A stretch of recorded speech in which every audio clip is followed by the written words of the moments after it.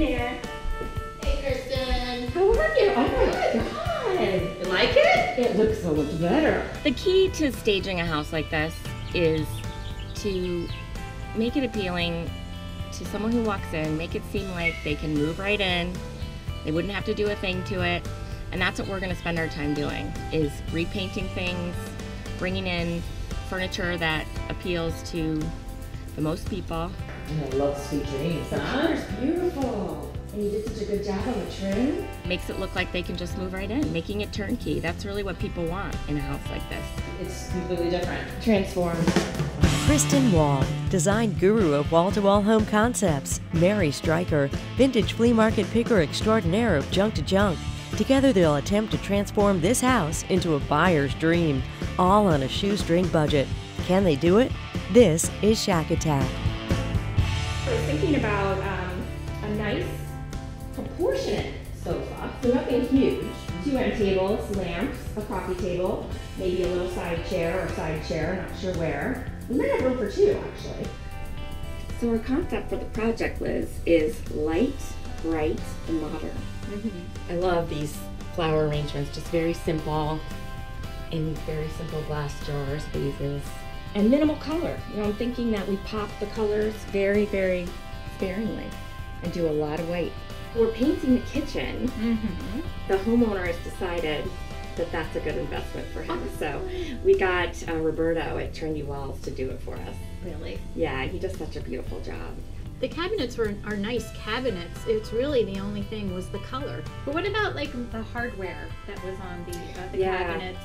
I think we're gonna spray paint that like a pretty brass or maybe. Oh, that'd be nice. Yeah. You can kind of get a better sense of what the furniture looks like in the space. I would love it if these could be swivel chairs. We have to really be resourceful, and this is where really using our designer experience and all of our creativities are going to really come into play. The way I'm going to execute that is use a lot of things from my own inventory, and I'm gonna beg, borrow, and steal the rest. We just have to find some stuff to fill up the house.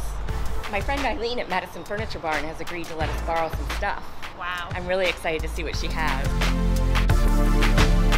So we're here to look for furniture for the project. Yeah, we're ready for you. Are you? Sure, of course. Whatever you need. Yeah, I think there's just a few basic pieces. I mean, we'd really like a sofa, Okay. And We we'd like uh, a chest for the foyer area, Okay. and maybe a chair. Sure. And I think, I mean, it's a small house, so Do you need any prints or? yeah, actually, some artwork would be Okay. wonderful. So I'm really kind of liking this sofa. It's got the aesthetic we're looking for, just clean lines, very simple. It's slip covered, I assume. It is, of course. Yeah. I really got a soft spot for this chest. Look at all this great storage it has. We really need to look for some rugs. These are the ones that we love now because you can go with stripes. The you can go with weave, GM, yeah. 100% wool, very easy to clean, and I have to say, very reasonable. I'm thinking of something striped, but not crazy striped. Look at this one. That is perfect. Because this will really go well with the wall color. The wall color's that really light aqua. Yeah.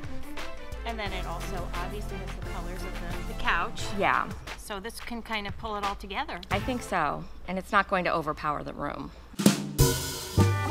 Trim and bathroom.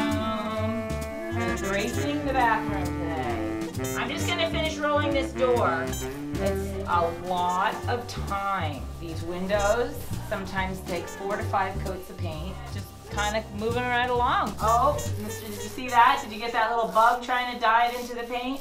I found perfect art for the kitchen. You oh, want to come see it? Yeah, let's go see it. Oh my god. Rock lobster. Oh, oh my goodness.